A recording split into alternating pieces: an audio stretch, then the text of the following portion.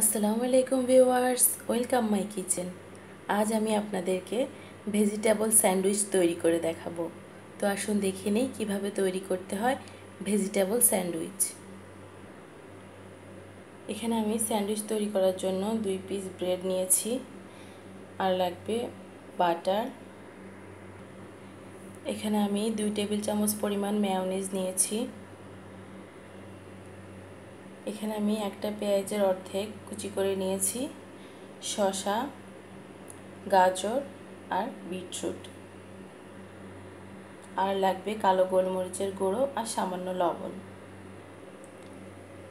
এখন আমি ম্যায়োনেজের সাথে পেঁয়াজ কুচি, শসা কুচি, গাজর কুচি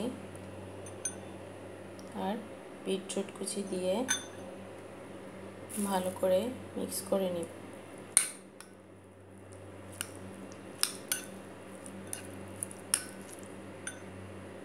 এখন আমি এক চিমটি লবণ দিয়ে দিব।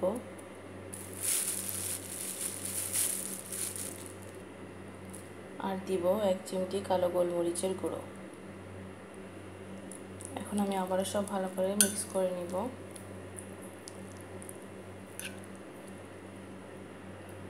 এখন আমি ব্রেডের পিসগুলোর সাথে বাটার লাগিয়ে নিব।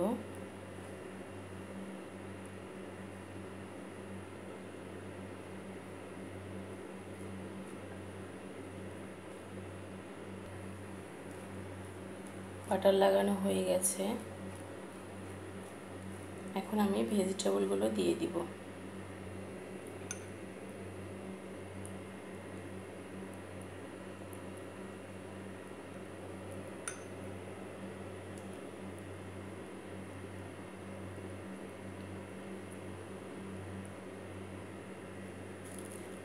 আমার ভেজিটেবলগুলো দেওয়া হয়ে গেছে এখন আমি আরেকটা ব্রেড দিয়ে চেপে এখন আমি চারপাশের ব্রাউন কালার সাইডটা কেটে নিব।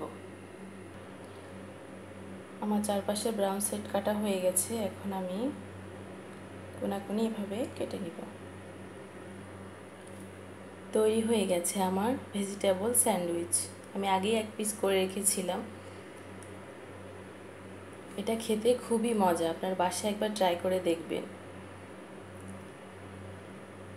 সকালের নাস্তায় অথবা বাচ্চাদের টিফিনও দিতে পারেন। আমার রেসিপিটি যদি আপনাদের ভালো লেগে থাকে, তো প্লিজ আপনারা লাইক শেয়ার আর সাবস্ক্রাইব করতে ভুলবেন না। সবাই ভালো থাকবেন। আল্লাহ হাফেজ।